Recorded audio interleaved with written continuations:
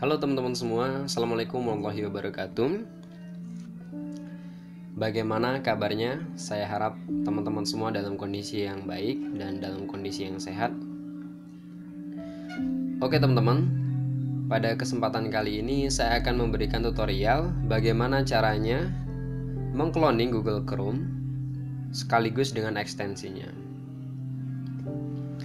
Oke, jadi kita langsung ke tutorial. Pertama-tama, kita siapkan dulu akun tumbal. Oke.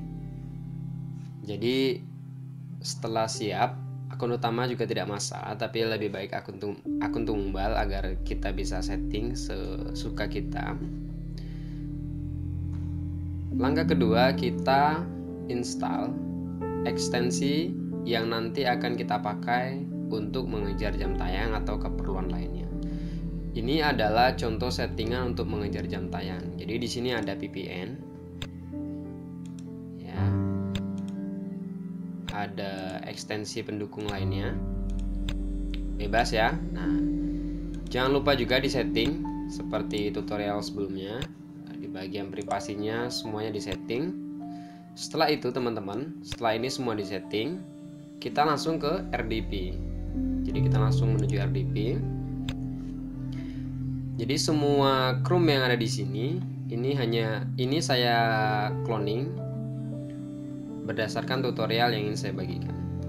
Oke, sekarang kita ke bagian bawah kita add.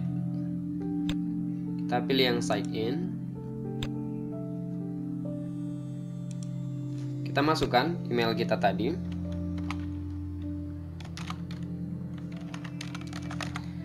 Nah, teman-teman, karena kita ingin mengcloning banyak banyak Google Chrome, jadi sebaiknya ini kita copy saja ya, biar nanti kita tidak kesusahan.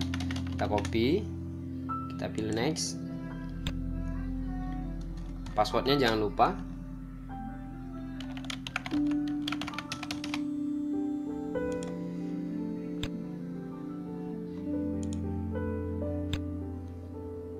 Oke, sekarang coba kita perbesar.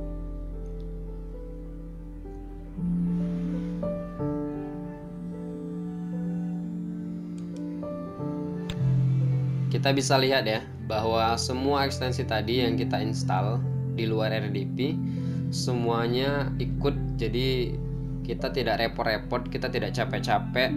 Setiap kali mengcloning Chrome kita mesti menambahkan satu persatu ekstensi yang mau kita pakai. Jika sudah begini jika sudah begini teman-teman jadi kita pilih titik tiga di atas kita pergi ke setting. Ini ya Kemudian kita pilih yang di bagian akun. Kita pilih turn off. Nah, di bagian sini teman-teman jangan lupa dihapus agar nanti bisa kita login sesuka kita. Kita pilih hapus akun. Nah, yang tanda yang tanda minus ini kita klik. Ya, kita hapus ya. Nah teman-teman, kita bisa langsung merename. Kita klik uh, icon akun di sini, atau kita juga bisa langsung menambahkan. Nanti menamainya ya, atau rename-nya nanti setelah di akhir. Kita bisa kalau mau rename tinggal klik ini, atau kita ingin buat sebanyak mungkin dulu, baru nanti di rename. Jadi kalau ingin menambahkan tinggal kita add lagi kita ulangi langkah itu sampai semau kita ya. Semampu RDP yang kita punya. Saya contohkan dua saja teman-teman. Karena proses dan langkahnya sama.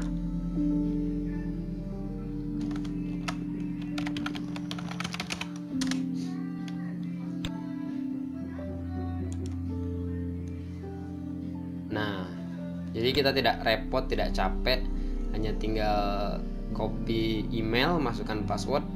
Kita sudah punya Chrome ya dengan include ekstensi yang kita butuhkan. Sama seperti tadi teman-teman kita ke setting. Kemudian kita turn on.